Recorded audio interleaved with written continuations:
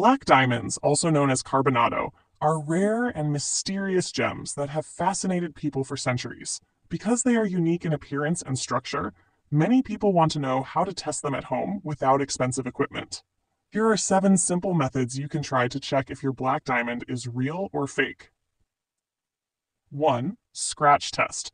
Real diamonds are extremely hard and can scratch glass, ceramic, or even metal.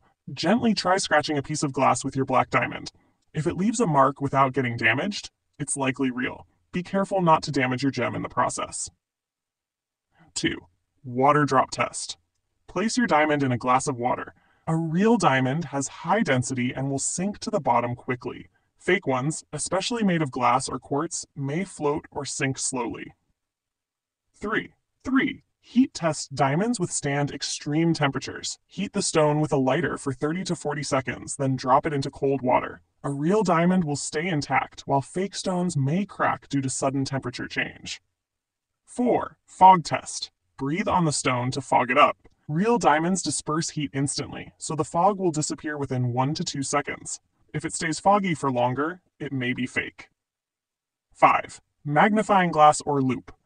Look closely at your black diamond using a magnifying glass.